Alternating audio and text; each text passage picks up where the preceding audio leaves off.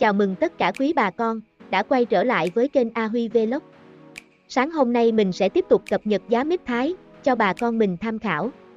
Do giá mít thái biến động, lúc tăng, lúc giảm, không ai lường trước được nên bà con nhớ theo dõi, cập nhật tình hình giá thường xuyên để bán cho đúng giá. Cảm ơn tất cả mọi người đã luôn đồng hành và ủng hộ kênh trong suốt thời gian vừa qua.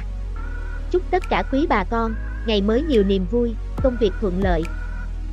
Sau đây là phần báo giá mít thái của một số khu vực trong buổi sáng hôm nay, giá được cập nhật lúc 8 giờ sáng. Theo thông tin nhận được từ anh em thương lái và vừa, thì giá mít thái sáng hôm nay tiếp tục bình ổn, giá ổn định, không dao động gì so với hôm qua. Bà con lưu ý, giá kênh cập nhật là giá anh em thương lái cắt tại vườn cho bà con tham khảo. Nhưng cũng còn tùy vườn, tùy lái và tuyến đường vận chuyển xa hay gần so với vựa mít, mà giá có thể sẽ chênh lệch từ 1 đến 2 ngàn đồng mỗi kg so với bản giá nghe bà con.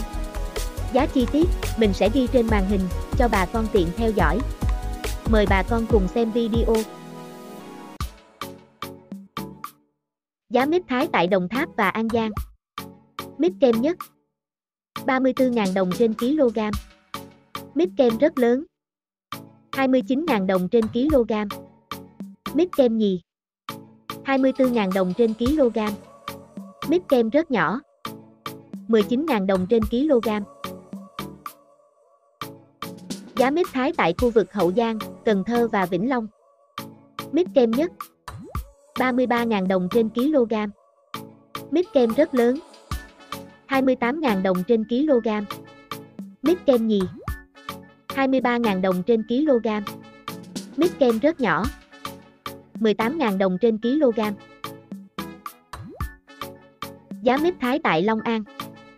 Mít kem nhất. 34.000 đồng trên kg Mít kem rất lớn. 29.000 đồng trên kg Mít kem nhì. 23.000 đồng trên kg Mít kem rất nhỏ. 18.000 đồng trên kg Giá mít thái tại Tiền Giang.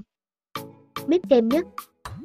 35.000 đồng trên kg Mít kem rất lớn. 30.000 đồng trên kg Mít kem nhì. 25.000 đồng trên kg Mít kem rất nhỏ. 20.000 đồng trên kg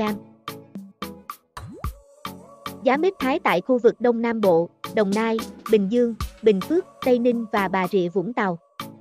Mít kem nhất. 28.000 đồng trên kg Mít kem rất lớn.